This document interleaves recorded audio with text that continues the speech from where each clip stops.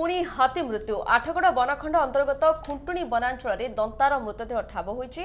ରାଜବଲ୍ଲଭପୁର reserve forester ଘୁମା ଘାସୁଆ ପାହାଡ଼ ନିକଟରେ ଦନ୍ତା ହାତୀର ମୃତଦେହ ପଡ଼ିଥିବାର ଦେଖିବାକୁ ମିଳିଛି। ଗତ ଦୁଇ ଦିନ ହେବ ହାତୀଟିର ମୃତ୍ୟୁ ହୋଇଥିବା ସନ୍ଦେହ ଯାହା କରାଯାଉଛି ହାତୀ ମୃତ୍ୟୁ ନେଇ ବନ ବିଭାଗ ପକ୍ଷରୁ କୌଣସି ସୂଚନା ଦିଆଯାଇ ନାହିଁ। ବାର୍ଦ୍ଧକ୍ୟ ଜନିତ ମୃତ୍ୟୁ ହୋଇଥିବା କୁହାଯାଇଛି ତେବେ ବନ ବିଭାଗ ତରବରିଆ ଭାବେ ହାତୀଟିକୁ ବ୍ୟବଚ୍ଛେଦ କରି ପୋତି ଦେଇଛନ୍ତି। ତେଣୁ ହାତୀଟିର ମୃତ୍ୟୁ କେଉଁ ପରିସ୍ଥିତିରେ ହେଲା ତାହା ଏବେ ସନ୍ଦେହ ଘେରରେ ରହିଛି।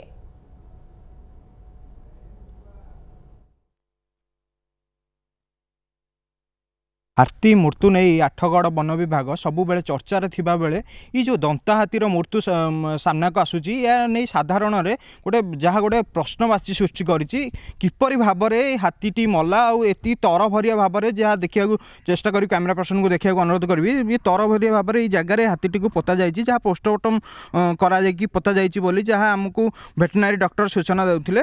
ସେ ମଧ୍ୟ କହୁଥିଲେ ଯେ ଏ ବାର୍ଦ୍ଧକ୍ୟଜନିତ ମୃତ୍ୟୁରୁ ମ, ୟାର ଯାହାର ମୃତ୍ୟୁ ହେଇଛି କିନ୍ତୁ ଏହାର ସଠିକ୍ ଏପର୍ଯ୍ୟନ୍ତ ସାଧାରଣ ମ, ରେ ଚର୍ଚ୍ଚା ଯାହା ଚାଲୁଛି ୟାର ସତ୍ୟାସତ୍ୟ ବର୍ତ୍ତମାନ ସାମ୍ନାକୁ ଆସୁ।